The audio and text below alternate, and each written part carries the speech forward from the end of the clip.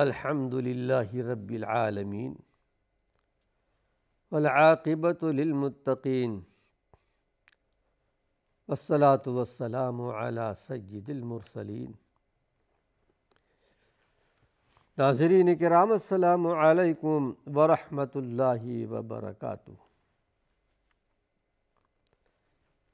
ईमानी सिफ़ात का उनवान लेकर आपकी खिदमत में हाजिर हूँ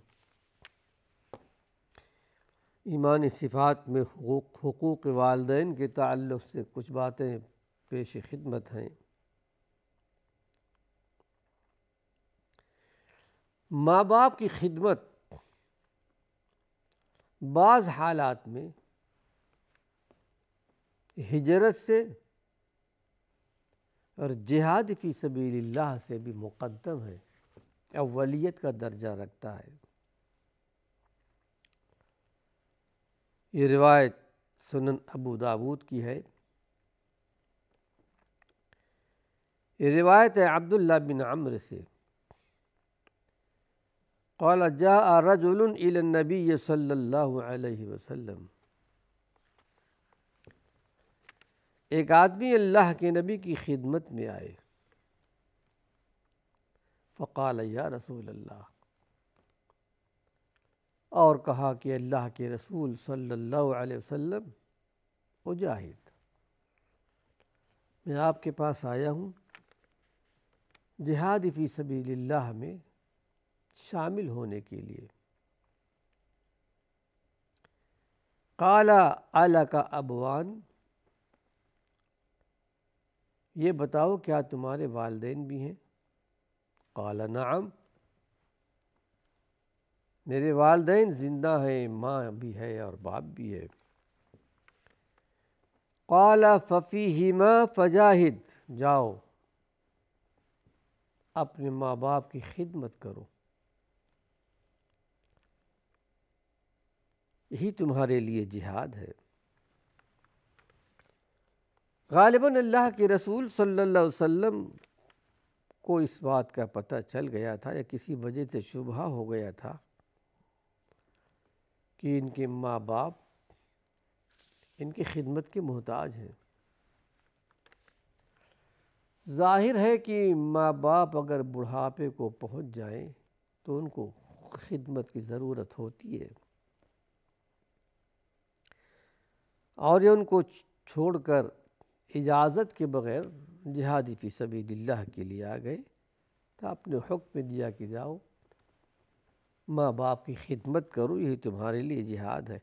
लेकिन नाजरीन कराम इससे ये नतीजा निकालना गलत होगा। जिस किसी के माँ बाप ज़िंदा हों, और वो जिहाद और दीन की खिदमत के लिए बाहर से न निकले। कितने ऐसे भी थे। माँ बाप के होते हुए जिहाद पी सबील्लाह के लिए निकले।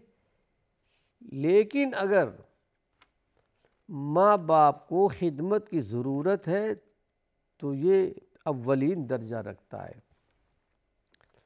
या फिर दूसरे कोई माँ बाप की खिदमत करने वाले हों। इस सिलसिले में माँ बाप का क्या दर्जा, क्या मकाम है? वो ये कि जैसा कि हदीस शरीफ में आता है कि माँ बाप की दुआएँ भी लग जाती हैं बद दुआएँ भी लग जाती हैं। बुखारी शरीफ की रिवायत है कि अल्लाह के रसूल सल्लल्लाहु अलैहि वसल्लम ने पिछले ज़माने बनी इसराइल कह लीजिए, एक बहुत बड़े आबिद इबादत गुजार थे, जिनका नाम था जुरैज रहमतुल्लाह अलैह, जुरैज।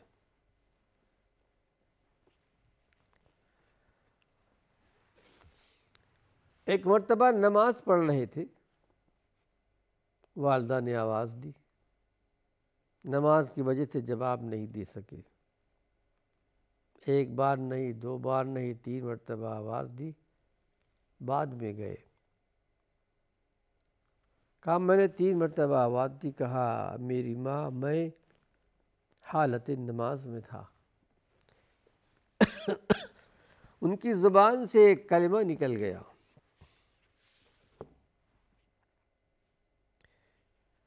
कि जब तक किसी बुरी औरत से तुम्हारा पाला न पड़ जाए, जब तक मौत ना आए। एक किस्म की बद दुआ थी। और जुरैज रहमत को यकीन हो गया कि अब यकीनन ये हालात मेरी ज़िंदगी में आएँगे। ऐसा हुआ कि एक मरतबा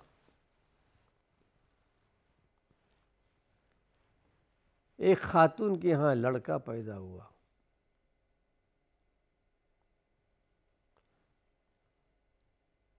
और उस लड़की को, औरत को बुरी आदत पड़ी हुई थी। कोई चरवाहा था, उससे गलत ताल्लुकात थे। लड़का पैदा हो गया। पूछा गया, किसका लड़का है? तो उसने नाम ले ले लिया जुरैज रहमत की। ये बुखारी शरीफ की रिवायत है। वक्त के बादशाह ने इनको गिरफ़्तार कर लिया कि बहुत बड़े आबिद हैं, बहुत बड़े जाहिद हैं, इबादत गुजार हैं। ये वो जहाँ इबादत करते थे, इबादत खाने को ढा दिया, गिरा दिया।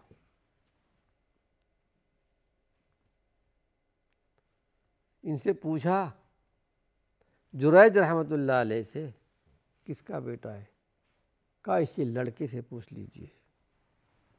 एक करामत ज़ाहिर हुई। इसी लड़के से पूछ लीजिए। कहा, कैसा लड़का है अली? कहा, उसके पेट पर हाथ रख करके पूछो, तुम्हारा बाप कौन है?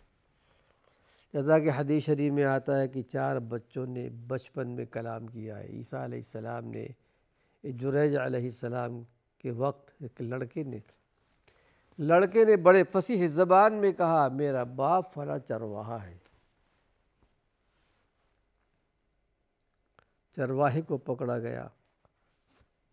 बादशाह वक्त ने, खलीफा कह लीजिए, बड़ी माजरत की माफ़ी मांगी और जहाँ इबादत करते थे, उसको नए तरीके से बना दिया।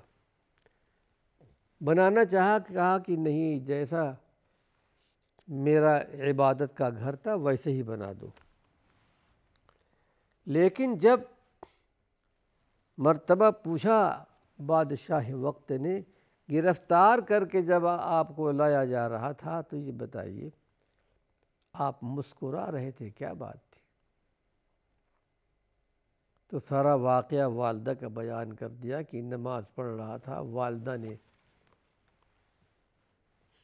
मुझे बुलाया, नमाज़ की वजह से जवाब नहीं दे सका। वालदा ने कुछ बददुआ कर दी इस तरह। मुझे हँसी आ गई। अब मुझे यकीन था कि यकीनन कि ये वालदा की दुआ बद दुआ किस तरह कबूल हो गई। तो माँ बाप के वालदा, यानी कि दुआएँ भी कबूल होती हैं बद दुआएँ भी कबूल कबूल होती हैं।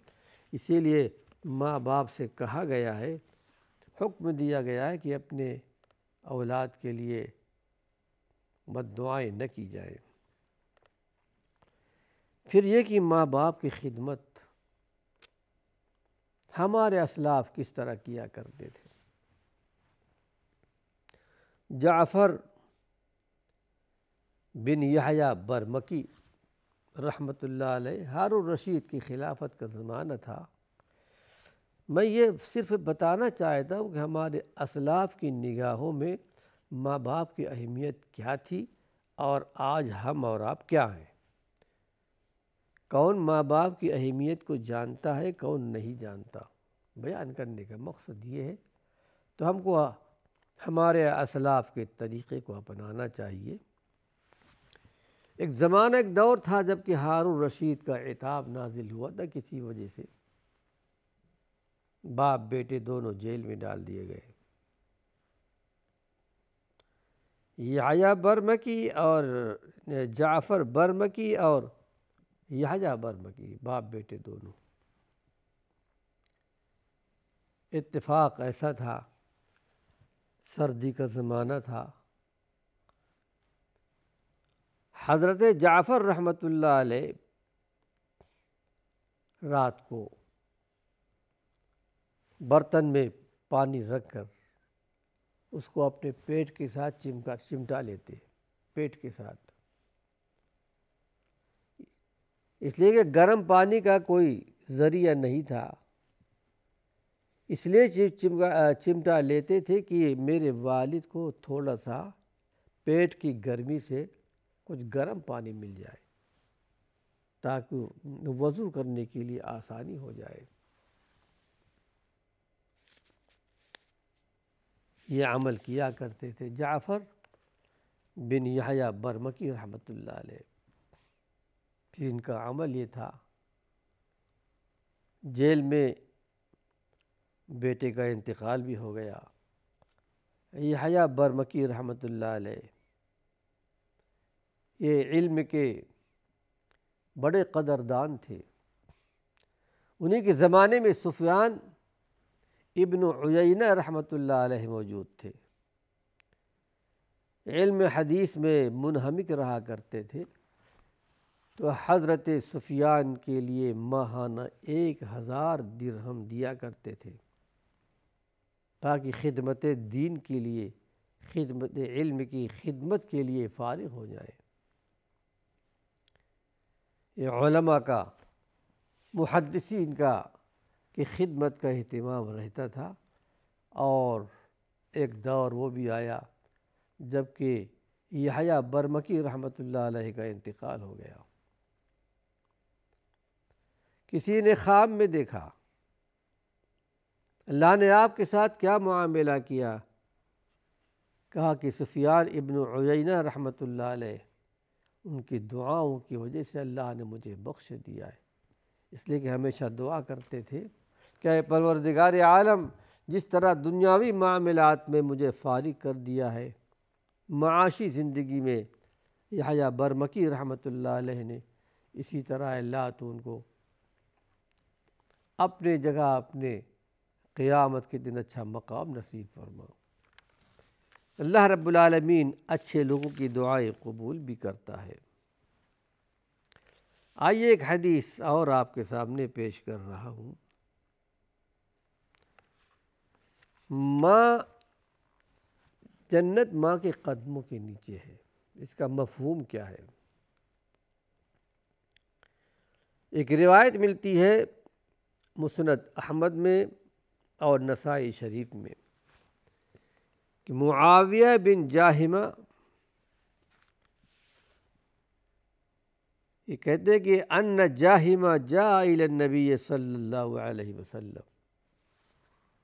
जाहिमा अल्लाह के नबी की खिदमत में आए।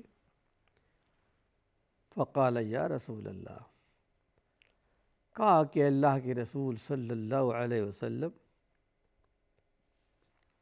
अरत तो अन अगजुआ वक़द जीतु अस्तशीर का मैं गज़वे में हाजिर होना चाहता हूँ, यानी जिहाद में, और मैं आपके पास आया हूँ आपसे मशवरा लेने के लिए।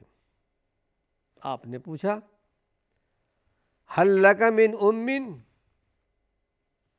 ये बताओ, क्या तुम्हारी माँ ज़िंदा है? काल, नाम। अल्लाह के नबी सल्लल्लाहु अलैहि वसल्लम, यकीनन मेरी माँ ज़िंदा है। काला, फल जिमहा। अपनी वालदा के साथ रहो। उनकी खिदमत करो। फ़ैनल जन्नत इंद रिजलिहा।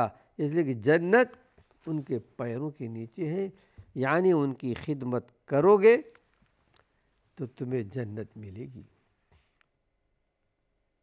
कितनी वजाहत है माँ बाप की खिदमत का, कितना बड़ा दर्जा, कितना बड़ा मकाम है। और एक भी ये बात भी याद रखिए नाजरीन कराम कि अगर कोई अपने माँ बाप का नाफरमान हो, मरते वक्त उसको कलमा भी नसीब नहीं होता। अल्लाह के नबी सल्लल्लाहु अलैहि वसल्लम के ज़माने में एक वाक़ पेश आया था हदत अलकमा का। इंतकाल का ज़माना था, कलमे की तलकीन कर रहे थे, तलकीन यानी मरने वाले के पास आहिस्ता से कोई कलमा पढ़े, ला इलाहा तो उसके ज़ुबान से कलमा निकलेगा। लेकिन इनकी ज़ुबान पर कलमा जारी नहीं हो रहा था। अल्लाह के प्यारे पैगंबर को इत्तला मिली, पूछा, क्या इनके वालदे ज़िंदा है, कहाँ माँ ज़िंदा है? माँ को बुलाया, कहा मैं अपने बेटे से नाराज़ हूँ? कहा, देखो अपने बेटे को माफ़ कर दो। उसके ज़बान से कलमा नहीं निकल रहा है। माँ ने सख्ती से कह दिया, मैं माफ़ नहीं करूँगी। बड़ी हमत से अल्लाह के प्यारे पैगंबर ने माफ़ कराया।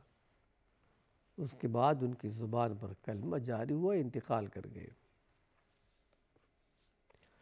तजहीज़ और तकफीन के बाद अल्लाह के प्यारे पैगंबर ने सल्लल्लाहु अलैहि वसल्लम एक बली खुतबा दिया। और आपने इरशाद पर और माँ ने ये भी शिकायत की थी कि मेरी नाफरमानी करता है ये बेटा और अपने बीवी की फर्माबरदारी करता है। बीवी की बात मान लेता है, मेरी बात नहीं मानता। हाँ आज के ज़माने में कितने ऐसे मौजूद होंगे। माशरे में ऐसी बहुत सी मिसालें मिलेंगी। बहरहाल अल्लाह के प्यारे पैगंबर ने इरशाद फरमाया कि याद रखो, जो अपने माँ बाप की इतात नहीं करेगा, अपनी माँ के मुकाबले में अपनी बीवी की बातों को तरजीह देगा, न उसका फ़र्ज़ कबूल होगा, न उसके नवाफिल कबूल होंगे। कितनी बड़ी वार्निंग है। काबिल इबरत है। अगर किसी को इस बात का एहसास हो और एहसास होना चाहिए कि दुनिया चंद रोज़ा है, आखिरत हमेशगी वाली ज़िंदगी है। मेरी आखिरत की ज़िंदगी बर्बाद न हो। और कितने ऐसे भी हैं जो बर्बाद कर लेते हैं। नाजरीन कराम, वक्त ख़त्म हो चुका है। कुछ मज़ीद बातें अल्लाह ने चाहा। तो अपने अगले दर्स में पेश करूँगा। वाखिर दावाना अनिलहमदिल्ला रबालमीन